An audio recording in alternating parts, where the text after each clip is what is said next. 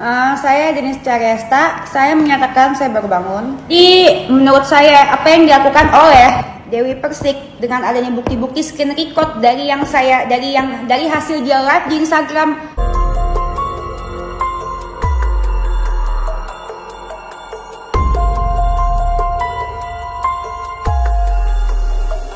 Hasil dia live di TikTok. Uh, itu sangat amat tidak layak jadi sajian masyarakat dan sangat amat parah.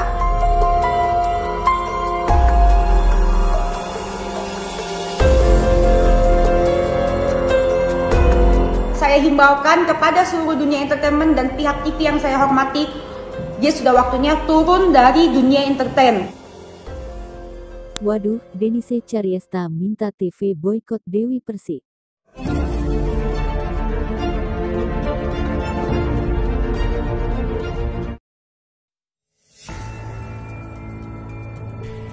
Sebelum lanjut jangan lupa like, komen, dan subscribe untuk mendapatkan berita terbaru dan terupdate. Sanggar Nadi, Juni tahun 11 2021 jam 8 lewat 5 malam. Perseteruan selebgram Denise Cariesta dengan penyanyi dangdut Dewi Persik makin memanas. Denise kini menyarankan pihak stasiun televisi agar memboikot Dewi Persik. Saya amat mengimbau kepada seluruh televisi yang memakai dan memperkerjakan dia, Dewi Persik di industri dunia hiburan, tolong diturunkan dari dunia entertainment, kata Denise Cariesta dalam video melalui akun miliknya yang telah terverifikasi di Instagram, Jumat 11 per 6. Denise menilai Dewi Persik tidak layak ditampilkan di televisi. Uh, saya menyatakan saya baru bangun. Di menurut saya apa yang dilakukan oleh Dewi Persik dengan adanya bukti-bukti screen record dari yang saya dari yang dari hasil dia live di Instagram. Ini orang ini harus kasih pelajaran. Ya mungkin caranya kalau nggak kayak gitu nggak nggak makan. Sebab menurutnya mantan istri Saiful Jamil itu kerap berkata kotor. Hasil dia live di Instagram TikTok itu sangat tidak layak menjadi sajian masyarakat dan sangat parah. Ngomongin tentang alat fit-fit membicarakan kata-kata yang sangat kotor-kotor sekali ujarnya.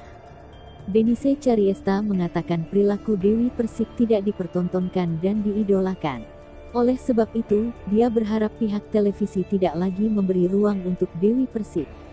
Semua orang itu merekam apa yang dia bicarakan, mencontoh, di situ Anda bermasalah dengan masyarakat. Saya siap untuk untuk menghadapi resiko. Jadi aku bukan tipe orang yang cemen jadi buat Dennis hati-hati aja kalau mau bermasalah dengan saya gitu karena saya orangnya tidak akan pernah mau bermasalah sama orang kalau nggak dicolek gitu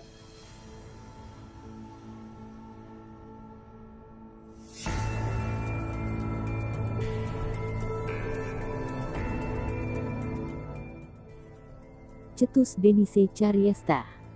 Demikian Sanggar Nadi mengabarkan. Dan jangan lupa like, komen, dan subscribe.